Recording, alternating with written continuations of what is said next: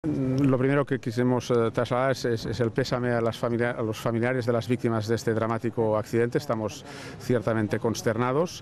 Eh, no podemos dar más información más allá de que un total de 45 de las eh, víctimas tenía apellidos eh, españoles. No estamos en condiciones de detallar más.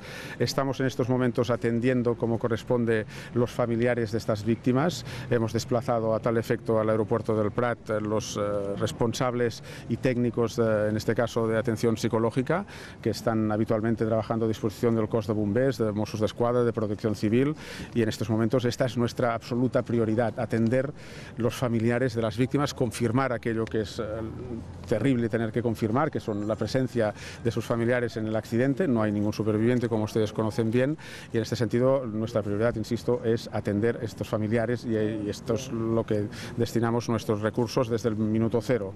Estamos integrados como corresponde también como Gobierno de la Generalitat en la sala de, de crisis a tal efecto y vamos gestionando pues en primer lugar lo que más nos preocupa que es la atención, la proximidad a los familiares de las víctimas eh, de este dramático accidente.